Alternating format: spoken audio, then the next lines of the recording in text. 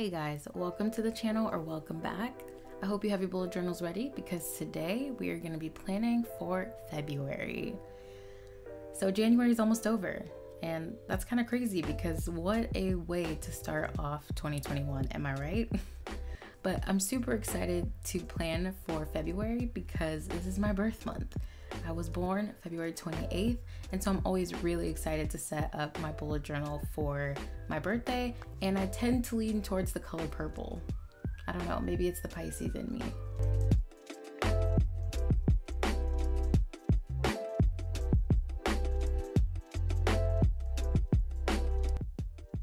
So this month I decided to go with a stingray theme. Um, when I go to the aquarium, stingrays are one of my favorite animals to look at, to interact with, along with like jellyfish and the clownfish, but that's besides the point. So I've never done this theme before, so I was very excited. Originally, I was gonna go with a koi fish theme.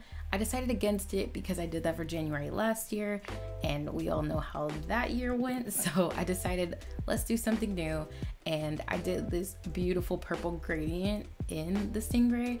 Um, these are the stickers that I made for this month, and uh, they just came out so much better than I thought they were going to. So I am very, very happy with the way this layout came out.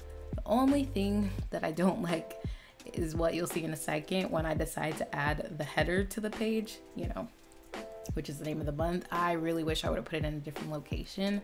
I do think I may go back and change it, or I may just live with it. It's not terrible. I just really wish I would have paid attention to that a little bit more before I put it on the page.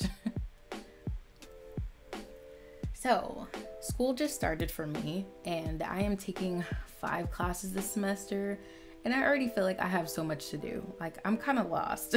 so it's really funny because I have really like a love hate relationship with school, but ultimately I do it because I want to be in school. So yeah. And even with being in school, I still decided to take my layout from last month and do it again this month with the smaller calendar because I just really ended up loving it. And to be honest, I put like a couple things on the calendar. So if they're on there, I know that they're standout um, I also know I have them written down in other places, so I figured I'd just go with it. And that's where I wrote February, and that's where I was really not, really not feeling the placement. I just wish I wouldn't have put it there. I wish I would have centered it on the page. That would have looked way better. And if it was smaller, but you live and you learn. And if I do decide to cover it up and replace it, I will post it on my Instagram. So make sure you follow my Instagram. And that is my first page complete. So I do really love the colors and man, I am just, that's what I was gonna mention. I did get the Mildliner brush pens and boy, they are really nice. I really like them. And also because I already have the Mildliners, I really like interacting with them because I have both colors, like one in the regular highlighter and one in the brush pen. So everything is very cohesive, but I can still get those nice straight lines. So that was I had a really good time doing this bullet journal plan with me with that. So here we come to my habit tracker and my workout tracker. You guys already know the drill. This page pretty much stays the same and it is effective. So it will be staying. So some of my goals for this year, I have quite a few, but um, one of them is reaching my savings goal. So I just put up a video recently titled How We're Reaching Our Savings Goal for 2021. So if you haven't seen that video, be sure to check it out. But I talk about a lot of the ways that you can reach your savings goals in that video. And for me, I always kind of set a goal every year of like, okay, at the end of the year, I want to reach this amount. And so it's kind of nice for me. And also, I really like to have a number in my head where I'm like, okay, every month I'm going to put this number aside. And then no matter what, I will work my budget around that so that I'm taken care of in the long run. So I'm very excited to see how 2021 is gonna go, and I'm actually hoping I can beat my savings goal this year. So I have a number in my head, I'm hoping I can pass it. We'll just have to see how it goes. It's gonna be a very, very busy year for me. so the next goal I have is reading 12 months, 12 months, reading 12 books this year. This is going to be a really hard one because even though I enjoy reading, it's sometimes difficult to find time to read. And so, as of right now, I've decided that I'm just gonna read 15 minutes before I go to sleep, and that has been very effective. It also helps me with like winding down to actually be able to sleep better than I have been. So we will have to see how that goes. I'm currently reading a book called A Good Girl's Guide to Murder, and I have to say, I'm really enjoying it. It's pretty interesting. I'm about halfway through the book right now, and obviously hoping to finish it before January is over. Uh, but I started it pretty late in the month, so I'm pretty sure I'm gonna finish it before the month ends. And yeah, it is different than I thought it was gonna be for sure, but it's a pretty interesting read. And uh, the book I actually want to read next is called One of Us is Lying. So apparently that's a really popular book. I haven't really kept up with it, so I don't really know what's popular and what's not, but I'm very excited to read that book for February and we'll just have to see how that goes. So I will be updating if you guys want updates about my reading challenge. And if you don't, you can also let me know that you don't care. That's fine too. Um, in the past, I have posted about books that I've been reading and then I kind of just abruptly stop reading. So it's kind of just a waste of time and you know, I apologize for that, but uh, I really do have good intentions, I promise. So I love the way this habit tracker ended up coming together in the end. And I just did the little dots around the stingrays to kind of show their movement. So I was obsessed with that. Like, I think I really loved every page in this spread. So this page we're coming up next to is now the two lines a day spread. So you know, pretty self explanatory. I also track my mood and my energy here. So I have the first dot space open to track my mood, and the second dot space is to track my energy. I'm usually somewhere around the moderate range. I'm trying to get to more like high energy. Moderate to me is like, meh, I'm okay. I can get through the day, but high is like okay i have a lot of energy i feel motivated i feel ready to go and that's where i'm trying to that's what i'm trying to get to Okay, so if you guys are reading any books this year or you guys have like a book challenge or anything like that, please let me know in the comments. Let me know where you're reading.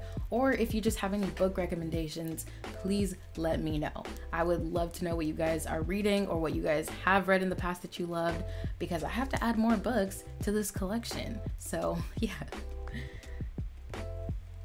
The next goal that I have that's like really important to me is like finishing my AA this year. And honestly, it opens up a whole can of worms because then I have to make some pretty big decisions and I just don't know what to do, guys. so, this next page I'm setting up, you guys already know my expense tracker, my finance setup. You guys know I have to have this in my bullet journal every month. It's not going anywhere. but so, as I was saying, with finishing up my AA and looking at transferring, it's really hard for me to wrap my head around because it not only means that I have to start looking at schools that I potentially want to go to and financial and how I'm going to pay for it and how I'm going to support myself and where I'm going to be and who I'm going to be and yeah, it's a little bit overwhelming. Um, I know that, you know, obviously you guys already know business finance, that's my degree. I still want to do that and that's my end goal at the end of the day. But I'm just like, you know, all these entrepreneurs out here already, you know, doing great things, making a ton of money, supporting themselves. And I'm like, you know, do I really need to go to school for this? Or, you know, can I just go out on these ventures now? And I still don't have the answer. I think for me, it's one of those things where I know that I want to do it for myself. Like, I want to get my degree for me. It has nothing to do with anybody else. But at the same time, I'm just like, at the end of the day, like, I want to be successful. I want to be able to take care of myself so that I can better take care of others. And can that be taught, you know? So, of course, there's still so much that I want to learn. So, I go back and forth about it every day and just thinking about supporting myself through that journey, um, especially you know, if it's in state or if it's out of state or I just don't know. So, course, I don't have to worry about that right right now, but by this summer or by the middle of this year, like I'm gonna have to really start thinking about it and taking it seriously and doing my homework on that stuff. So, yeah, just to say that I'm overwhelmed is kind of an understatement, but I know you guys understand what I'm going through. I feel like I talk about this in every video, and you guys are always really supportive. So, you know, I'm hoping that will continue, and I'm hoping that, not even hoping, I know it's gonna work out. I'm just, I'm still worried about it. The quote at the bottom says, When I die, I'm gonna turn into one of these, unless I chose the wrong tattoo.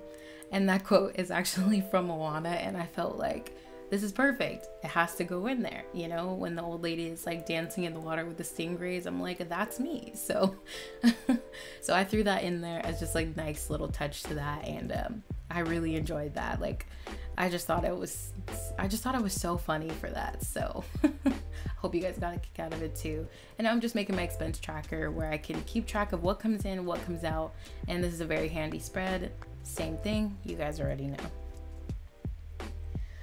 Okay, so another goal of mine this year that I'm super excited about is as you guys know, we're around like 110 subscribers right now, which I have to say, like, I am so freaking thankful for. Thank you guys so much. Um, and one of my goals has been to reach a thousand subscribers, and I can't even believe that I've gotten this far. And I also can't believe how close we are to that goal because, like, I just truly feel like I don't deserve it sometimes, if I'm being honest. And then you guys, you know, support me on Instagram and stuff like that. And you're like, no, like you're totally appreciated. We love you. I love watching your channel. And I'm just like, uh, it just fills my heart so much. Like, I'm just so grateful for this creative outlet and this platform because, you know, I just, this is what I do already. This is like actually a part of my life, and I don't just do it for YouTube or Instagram. This is actually just something I really enjoy doing. So, to get some kind of, you know, notoriety from that, it just really, really warms my heart. So, I just wanted to say thank you. I am incredibly grateful. And then along with that comes creating like more income for 2020. I mean, 2020, no, we're done with that for 2021. Um, but before I get into that, I want to talk about what I'm doing right now. So, I'm working on my monthly goal spread. Now, to be honest, it's not that different from last month. However, I just really loved the pictures that I picked of the stingrays and I just thought they fit so well. So, I really liked the spread, especially once I went back in and like filled it in, which you can see on my Instagram again. So, yeah, and then the page next to it is my birthday spread. I do this every year. every year when it's my birthday month, I always make a spread, you know, surrounded around just like my birthday and me being a Pisces and everything. Cause I, you know, some people don't believe in astrology. That's cool. I really connect with that though. So I always have to throw it in there. And also, I use a picture that somebody photoshopped of Rihanna as a mermaid to be like my representation of like me as a Pisces. And like, tell me that's not like the best thing ever. uh, because Rihanna's like incredible. So when I saw that on Pinterest, I was like, I have to put this in my bullet journal. There's no way I can skip that. So I really ended up liking the way that this came together.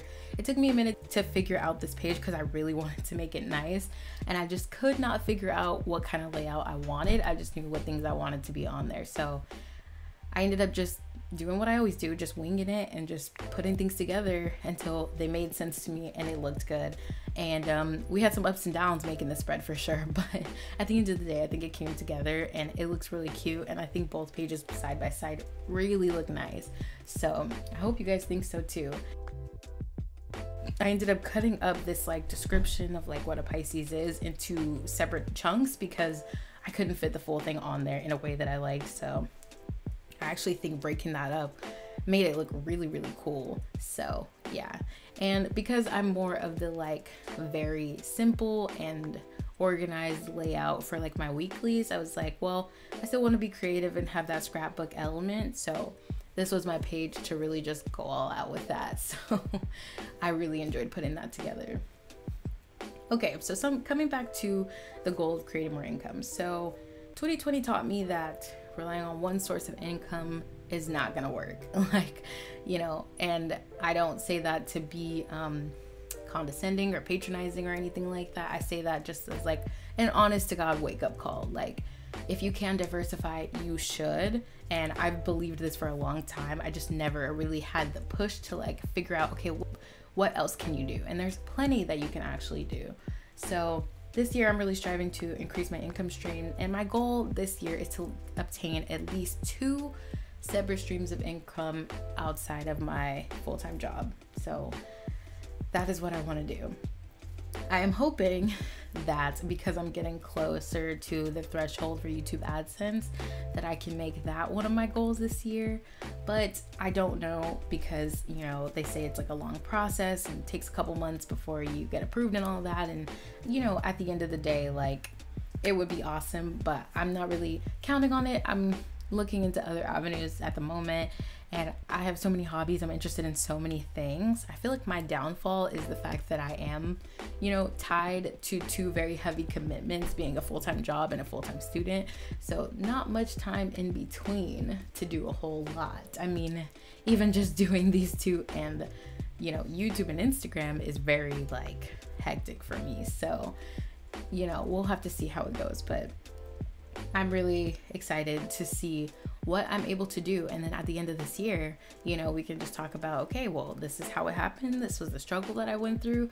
But at the end of the day, this is what it is. And, you know, I mean, here's the thing even if it's an extra 10 dollars, hundred dollars, whatever it may be, you know, at the end of the month, like I will be satisfied with that because it's something I can build upon and grow upon. And at the end of the day, it's another role in my financial journey. So I am excited about that. I'm excited about this year, even though I don't want to make any truly like overarching goals because of the fact that 2020 really threw everybody off.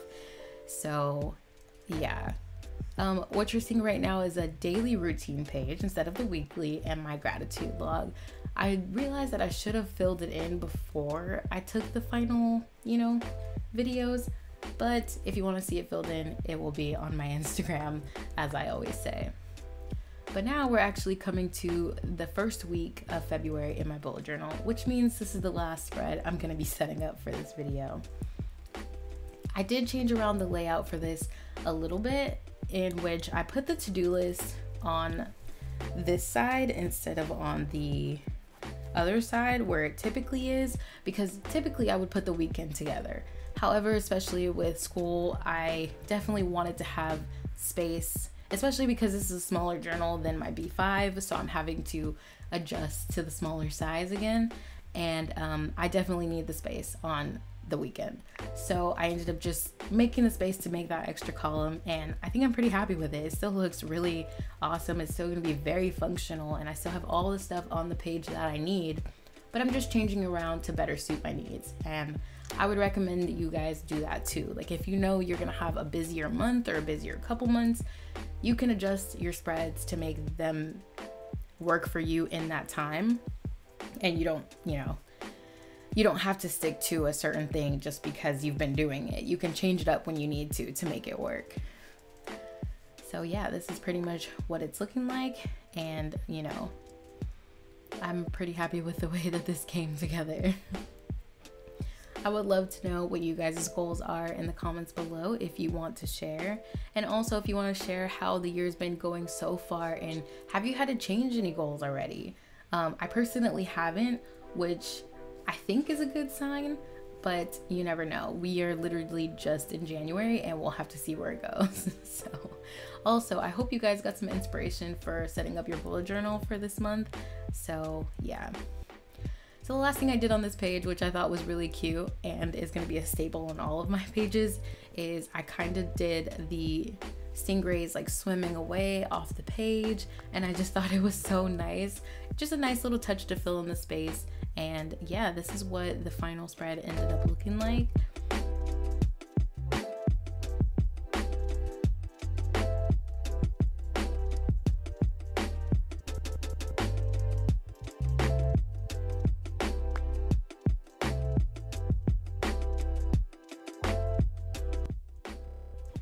right, we have come to the final flip through. I really hope that you guys enjoyed watching this video. If you're old, thanks for coming back. And if you're new, thank you so much for joining our little Bujo family. And don't forget to like, subscribe, leave a comment down below. And I hope to see you guys in the next video.